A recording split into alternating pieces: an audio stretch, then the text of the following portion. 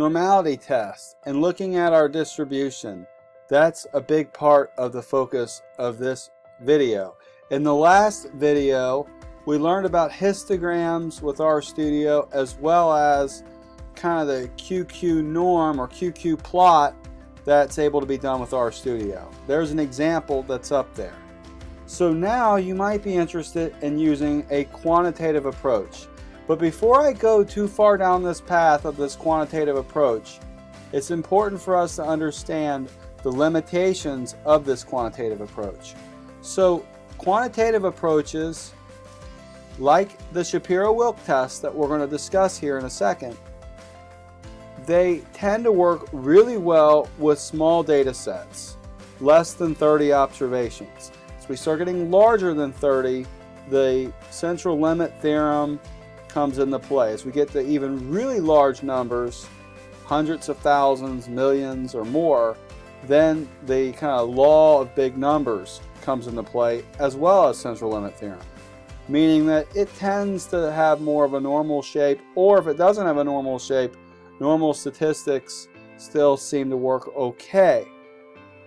When we use larger data sets, I still think it's important for us to look at the shape and see if it looks something like the normal distribution because with large data sets, even a small difference from normal can show a statistically significant difference.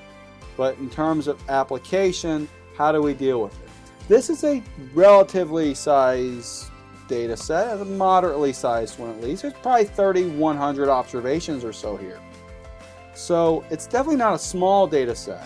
So the Shapiro-Wilk test is the test of normality that most folks view as one of the better ones. It has more power than some of the other ones. So if our data are attached, we don't have to do this object piece where we attach our object here in the command and then we would do our dollar sign for whatever we want to look at. Say we want to look at household income.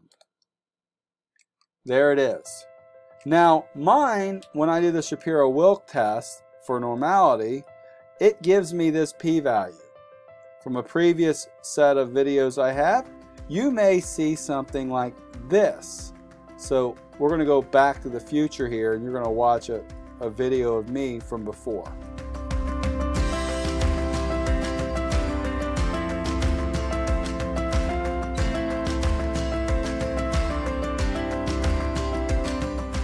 So with respect to that video from before, so I'm going to back out of there,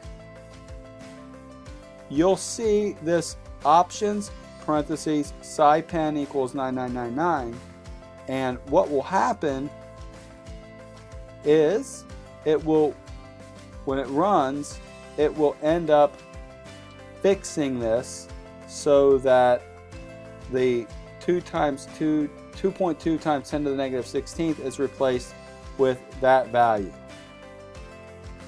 That's really helpful. Why? Well, it's really helpful because some people intuitively like to see how small the number they're dealing with. So if you're dealing with a number like that, for a lot of people, this might be helpful. All right, so back to RStudio for us. Here's our numbers. So you saw the command options parentheses SciPen equals 999 and then you would hit enter and I can still do it. it it's not going to affect it. That's already turned on on mine. So how do we interpret the results of a Shapiro-Wilk test? We've got the data there. To zoom in. How do we interpret this? Make that bigger. W, it's 0.9044. That W statistic, some people will say when it's below 0.99 for large data, you might want to look at it like it might not be fitting the normal distribution. As it gets further and further away, like this is really far away, we would have a lot of reason to believe that this does not fit the normal distribution. We can look at the histogram. And this is the household income data. It does not look like a bell curve. you have the Shapiro-Wilk test data, right? We've got them. What does that low p-value mean? Well, whenever the p-values are like less than 0.05, we would say that there is a statistically significant difference. A statistically significant difference from what? In this case, it's a statistically significant difference from the normal bell curve. Now again, large data sets may look like a bell curve and they may even have a high W value, a W value of 0.99 or 0.996 if you got like a million um, observations and you still might see a significant difference from normal. In that case, with those huge data sets, you're going to want to use that W value and as it's higher than 0.99 the bell curve you'll see on your histogram and that might make you feel better about using normal statistics. There's debate out there on this topic and you should use whichever approach is best and if you're doing data of major consequence you may want to consult a statistician um, for doing so. So hopefully this has been pretty easy to understand. We'll do another example here in a second, but I want you to also know that p-values do not have feelings. There's no such thing as a good p-value and a bad p-value. The values are what they are for your data. So in this case, this is a low p-value. So if you were hoping to use normal statistics because that's what you're good at, this would not necessarily lend itself um, for that approach. And the bell curve and that low W value, those three things all together um, would tell you, ah, it's probably not the best approach. There are some things though that you can do. We may have the ability on income to log transform the data, to take this from its current kind of the, these numbers here and put them onto a log scale and sometimes log transformation will make the data behave more normal. You may also put them into a model of some type at some point and as long as the overall model doesn't have a gross departure from the normal distribution you may be able to tolerate the, the, the deviance from normal. So let's look at another example.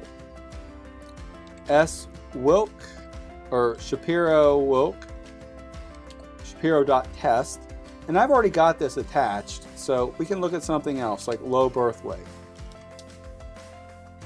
What do we see for low birth weight?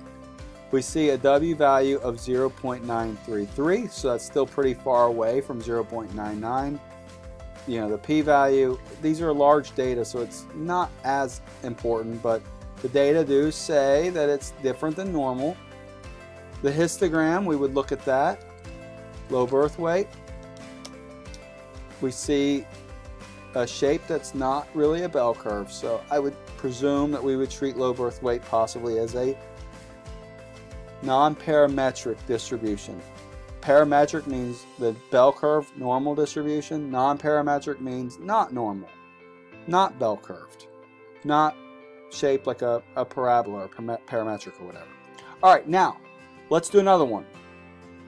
Histogram, life expectancy, 1990. We've got that data there. We're familiar with it. We've already ran this one. Let's do the Shapiro-Wilk test on it or life expect 1990. It runs and it's 0.98259. So as this W value gets closer to 1, more likely to fit the normal distribution.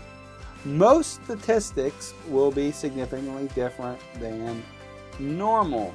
That's just kind of the way things work out um, when you're dealing with health statistics and dealing with socioeconomic data, which we often use a lot in public health. So I'm trying to think of any data that are in here that might be normally distributed.